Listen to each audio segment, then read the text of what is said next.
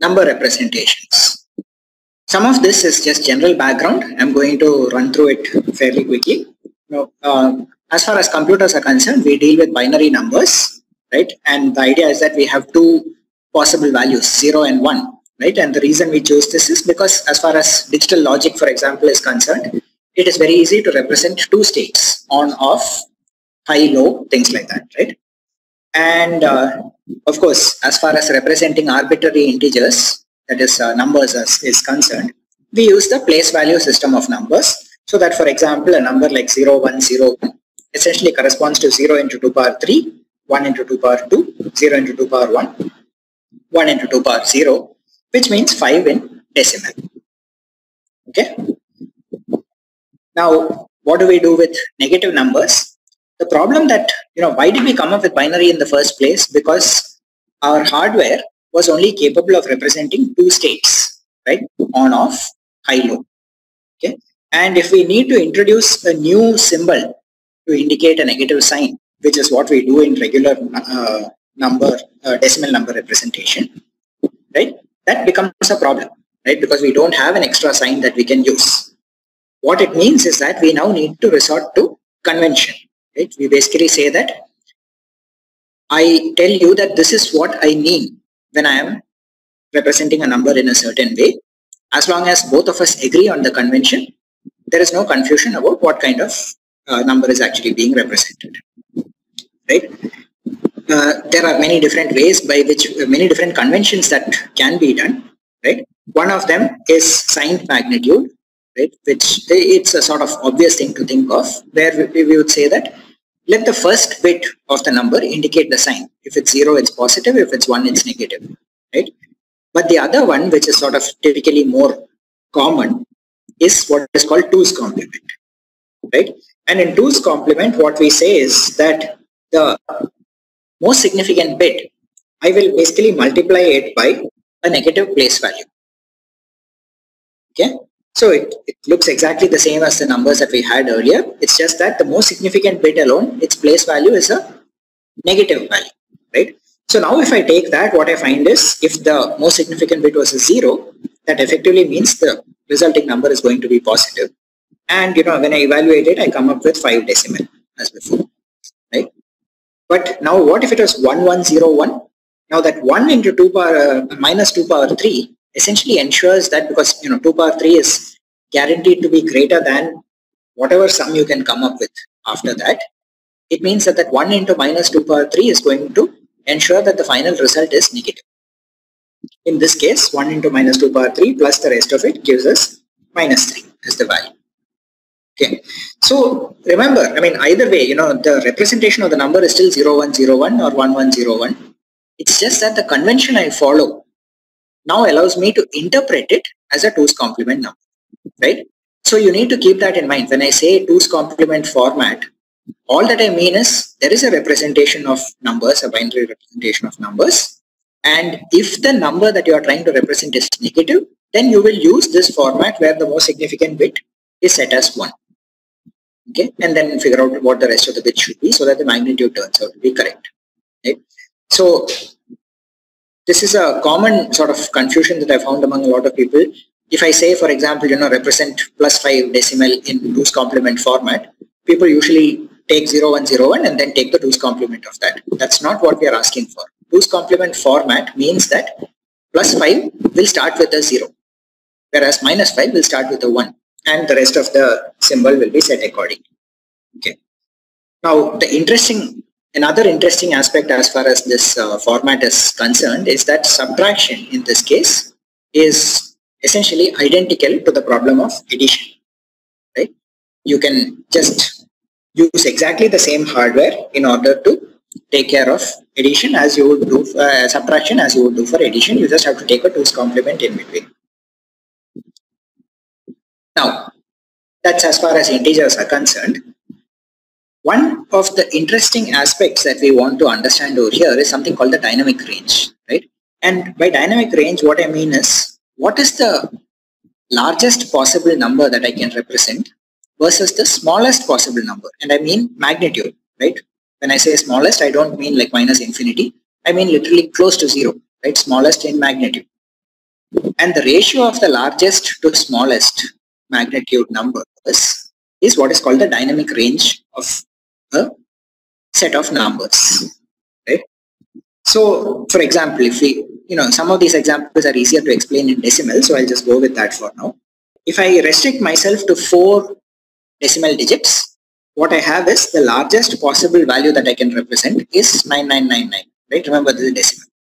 And the smallest is 0001, okay, 1 in other words. Which means that the dynamic range is 9999 divided by 1 equal to 9999, right?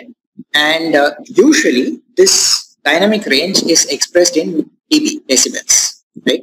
The reason being that essentially this sort of indicates the maximum amplitude versus the minimum amplitude that can be represented using these numbers, right? And uh, since you're talking about amplitude, we take 20 log to base 10, right? So this should be log to base 10.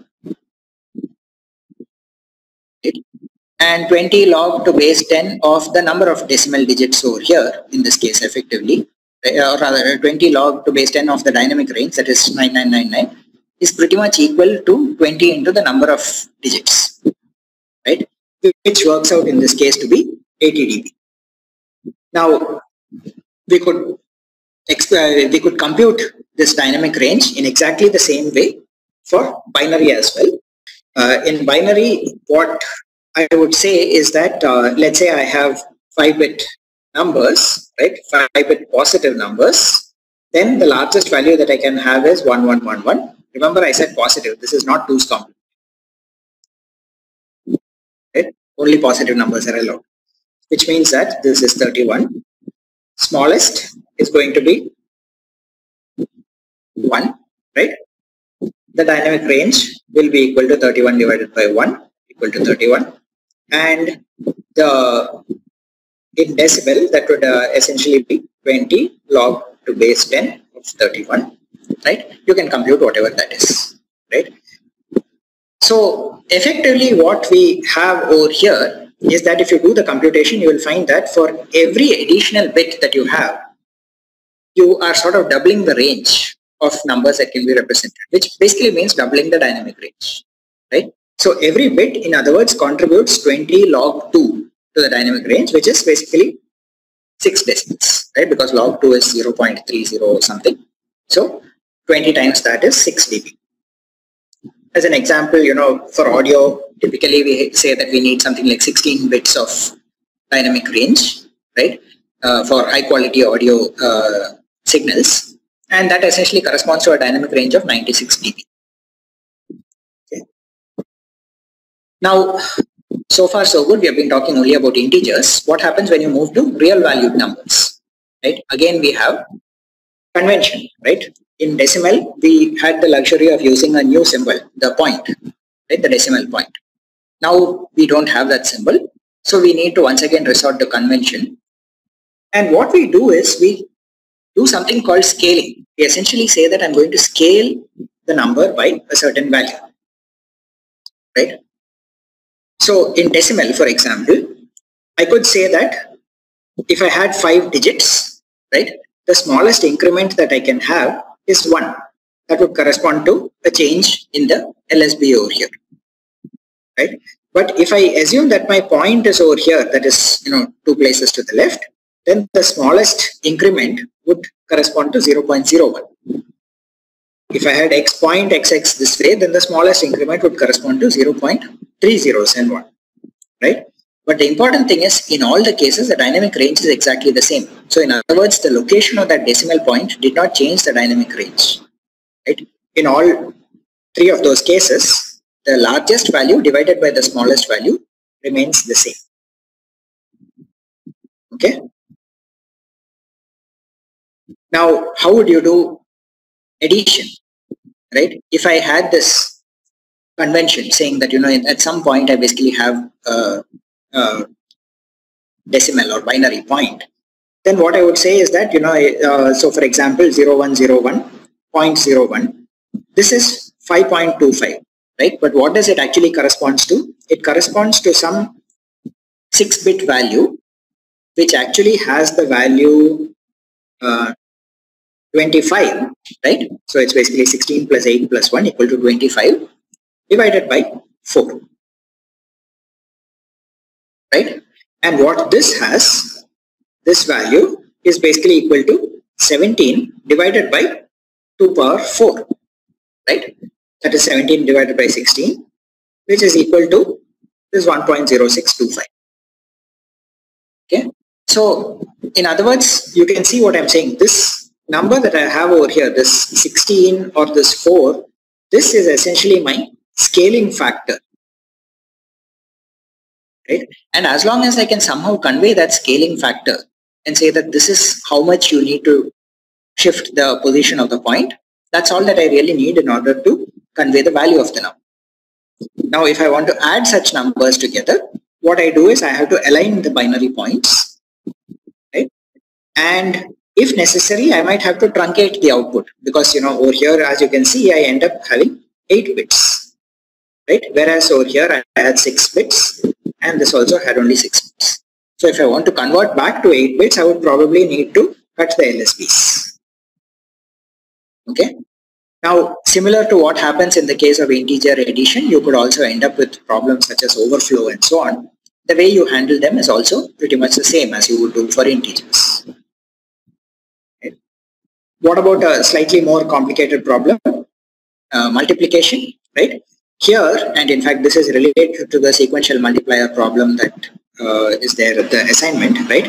How do you do multiplication? I would pretty much take the LSB value over here multiply the multiplicand, right? And effectively say, okay, what if I take this value 0101.01 and multiply it by 0.0001, right? What I have done is I have taken this value and written it down over here, right? But after shifting it, shifting this by the point by four places so that it comes here. Okay, that's essentially what you see over here. Now this next, the second position, this corresponds to the next partial product, right? So each of these is essentially a partial product, right? It is the product of the multiplicand by one of the bits of the multiplier, right? I put all the partial products now, add everything together and come up with the final product. Okay, so this is essentially how I would do multiplication. Once again, almost identical to how you would do it in the case of integers. You just need to take care of what your scaling factors are. Now, what happens in the case of scaling factors? Like I said, 5.25 was this 010101, which is uh, actually 21, sorry, not 25, 21 into 2 power minus 2. Okay, so it has a 6-bit mantissa sometimes also called the significand or the mantissa right and this is multiplied by the scale factor of 2 power minus 2 what about the other value 1.0625 this has the value 01001 that is 17 with a scale factor of 2 power minus 4 okay Multiply the two together, what do you get? It's this long number 5 point, which is actually translated as 5.578125, right? Which is basically 21 into 17. You multiply the 6-bit and 6-bit mantissas and get a 12-bit mantissa as the result, right? And the scale factor is 2 power minus 2 into 2 power minus 4 becomes 2 power minus 6. Okay, so you can see where I'm going with this. Effectively, all that I'm saying is because you cannot actually use a symbol to indicate the binary point location, you need a convention which basically tells you, you know, there is some 2 power minus 2 or 2 power minus 4, some kind of value like that. And you need to keep track of it as you work with the numbers.